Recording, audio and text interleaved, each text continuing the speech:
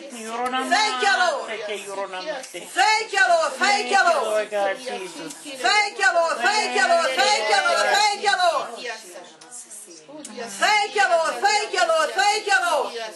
My God, my God, my God. Thank you, Jesus.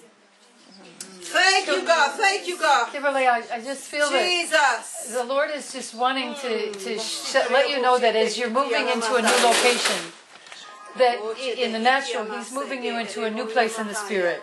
Jesus. And, Yes. and, and he, He's just really, really pleased Yes. at your desire to be with Him. Whoa. And He just wants you to rest in Him. Yes. Rest in Him, but but it this uh, just as in the natural, Jesus. you're going to a new place. He wants to take you to a new place, a Yes. deeper place, uh, which is a higher place. Yes. A deeper in Yes. Yes. My Yes. Lord, my Lord God. Yes. confirmation from what I Yes. received the other day. Thank you, Lord. Thank you, Lord. So Thank the you, 30 Lord. days that I'm going to be in one place is the time of rest and renewal Yeah. Ah, before I go into the other Yeah. place. Mm. Yes.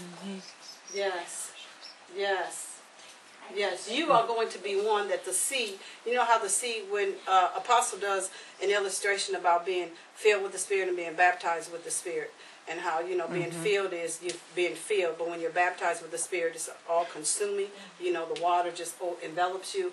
And God said, this is going to be a season when you've been desiring to really be engulfed mm. in the Holy Ghost. And God said, this is a season by September. I hear Him say to tell you by September, by September, early October, He said, you're going to be engulfed in His Spirit, in the mind of Christ. You're going to be so enveloped in Him by that time. He said, and so saturated with the Spirit of the Lord that all those things from your past, oh my God, mm-hmm. all those things mm-hmm. from your past are really going to be your tools and your instruments and, and keys in order to unlock those things in other people's lives and cause people to fulfill their God given destinies. Mm-hmm. That's why God said, Your feet. Um, your your feet. Uh, someone had told me um, earlier this year that I had I had bats in my feet. The the kind of feet that bats, as in always wanting to move. Oh. always wanted to fly around. Always wanted to fly around. You are one whose feet are also anointed to move around, and it's anointed to move around because you're going to have those keys to access to unlock people's destinies so that they can fulfill their destinies. So that's why God is moving you around to different places because there are different people that are assigned to you, assigned to you for you to have the one because you're the one that's going to have the key to unlock that for them so that they can move forward in God. Jesus. My, my, my, my, my, my.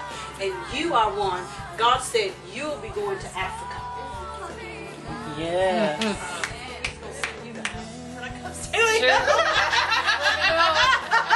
Just let me know when you're coming. You are going to Africa. Oh, you, you will